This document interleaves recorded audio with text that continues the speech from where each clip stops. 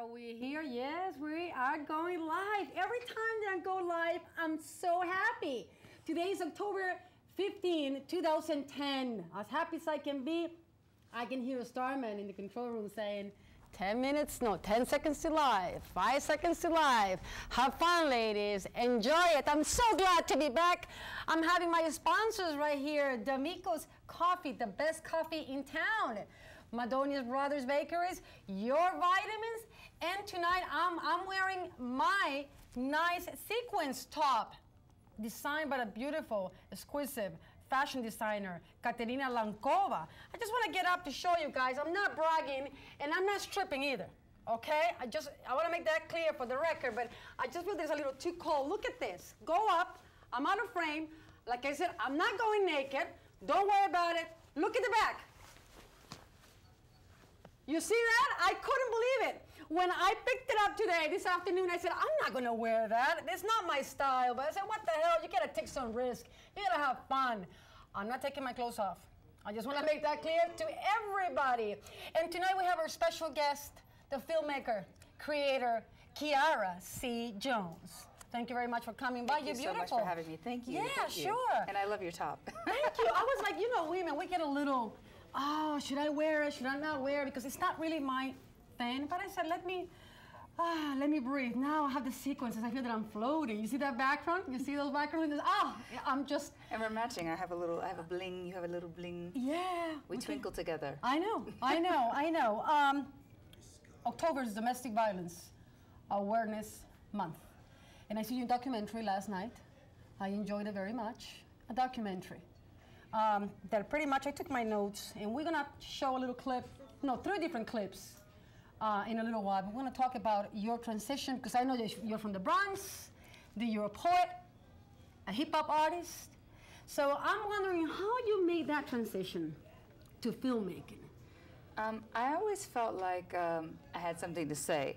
So, you know, when I was young, I was writing a lot. Of course, hip hop was, you know, the thing to do. So we all tried our, our attempts. We made our attempts at the game. You know, I had my little crew I used to run with. We used to rhyme and that sort of thing. But um, when I when I started um, developing a career, you know, trying to make some money, that wasn't really working out for me financially. So I started in broadcasting and I did radio and Like television. I read, yes, and you've been traveling everywhere. Traveled all over the world with that. And then I did live shows and events, you know, concerts and, and installs of big shows and that sort of thing. And then um, I was actually living in Las Vegas and I wasn't really happy there. I had a big, beautiful Why? house. Why you were not happy? I don't, you know, it just wasn't the place for me, you know. But I had all the things that you, they say you're supposed to have. I had a nice car, I had a nice house, I had a great job, worked for a really great company, but it just wasn't me. So I said, I want to move out of here. And the only place that I could think to go was New York because it's been calling me to come back here my whole life and to be here as an adult. This to me is the most fertile soil that you can be in as an artist to try and grow because there's so much energy here, there's so much culture, so much influence. Every much day beauty. you walk outside and you can be inspired by just being. You know, even on the windiest, coldest, rainiest days, there's always something that New York will feed you. So I wanted to come back to New York. So I decided to, um, I needed a really good excuse to sort of give up my life and leave Las Vegas. Uh-huh. So I applied for graduate school and I applied for graduate film school. Uh, and they have two schools here in, in New York, at Columbia and New York University. And NYU, uh-huh. And I got accepted to NYU, and here we are. That's fantastic. no, it's just a filmmaking is a profession that you really have to love it, like acting.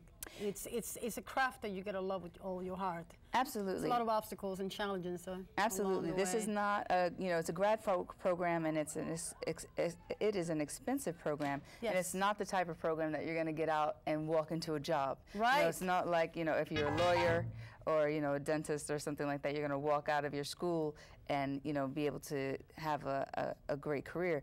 It's, it's all really about what you put into it. Right. So um, you have to love filmmaking. You have to love storytelling. You have to love people. You have to you have to love yourself. There has to be a place in you that you know those days when you wake up and nobody's paying attention, that you're still going to be able to like get up and keep doing that thing. This is the hardest work I've ever done in my life, working for myself. I've never worked so hard. Um, What have you had learned so far? what have I learned so far? Um, I've learned that I love collaborating. Um, filmmaking is an art that is it's it's it requires you to have really great, talented friends um, and collaborators to work with. It's not like painting where you can just go in your studio and lock yourself, yourself. in and do it by yourself. You're I mean, you kind of can with all the, the advances in technology, but it, you're really not going to be able to do this by yourself. The, you, the best way to do it is to have a group of people that you can work with. I mean, even the actors, I mean, you know, I, I was thinking, you know, if you if you said, oh, I could do it all by myself, you're going to act in it yourself, you're going to direct it, you're going to shoot it, you're going to shoot and act and edit, and it's you need other people. So um, collaborating has been um, one of my one of my most favorite adventures in in this experience um, because every person brings a really special and unique ingredient to the project that without them being there, you know, your film would not be what it is today. So when those credits roll at the end, it's really a special, you know, like heartwarming feeling to me that each one of these people gave a little So piece much. of themselves to help this thing come Yeah, to to life. make it happen. Absolutely, absolutely. And let's talk about uh, this documentary. Okay. The this the documentary that we're working on now. We're in the final stages of production. It's called Serenity. Um, it is about victims of domestic violence and abuse that have to go through the shelter system in New York. Um, the director, his name is Lapo Melzi, and he um, garnered a relationship. It's so funny. Uh, this whole business is about connections and networking and you know making friends and who you know and all that sort of thing. He garnered a relationship with a gentleman by the name of um, Matthew Okibiyi, who runs the African uh, American Planning Commission. He's the, um, the executive director um, and uh, happens to run Serenity House also. And Matthew was looking for some sort of, of visual um, sort of commercial to, to put on his website to sort of promote, um, to get people, to help people be more aware of child abuse and domestic violence and that sort of thing. And Lapo had created this piece, it's called Paper Child. It's a